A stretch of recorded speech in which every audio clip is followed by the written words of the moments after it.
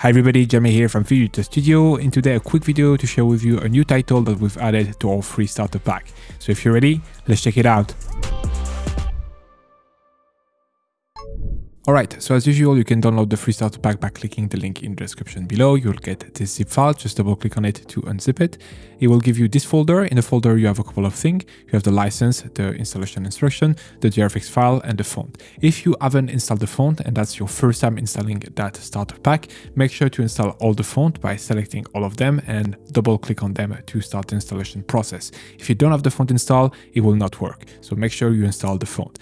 If you've already installed the free starter pack in the past, this specific title don't require any other font, so you can simply double click on the DRFX file and just overwrite your existing DRFX file by clicking overwrite right here. And now your pack has been updated.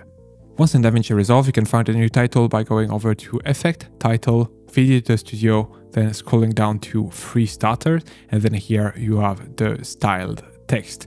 And here you have the duplicate text, which is the new title that we've just added. So you can then just take it and drag it here in your timeline. Maybe some of you will recognize it. That's actually a title that we've created together in one of the video. So that's going to be something I'm going to try to do more of in 2023.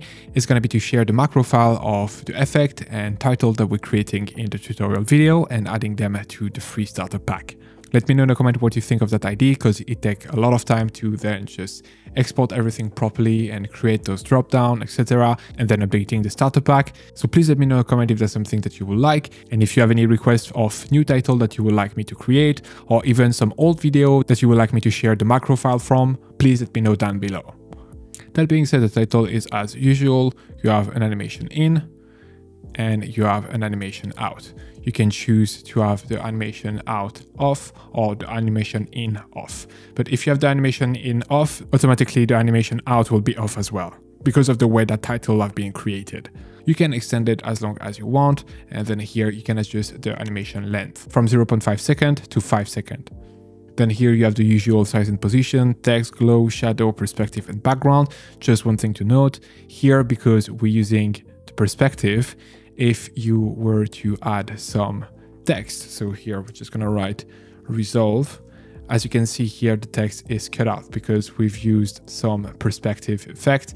So that's something to be aware of. But here, if you want to remove the perspective effect, you can just go to zero on the y-axis and zero on the z-axis, and I will not show that it's cut out anymore.